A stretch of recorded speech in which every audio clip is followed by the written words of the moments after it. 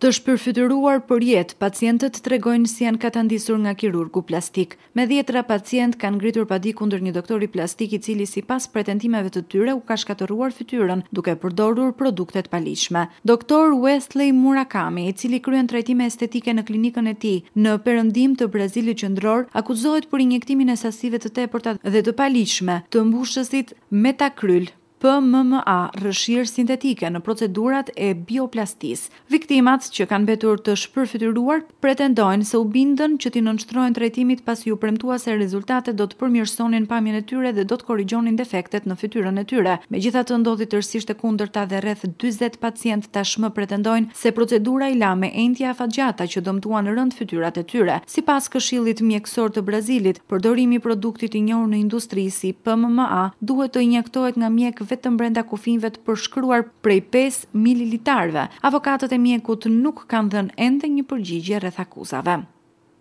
Mos harroni të bëni subscribe në kanalin tonë në YouTube Jeto Shëndet.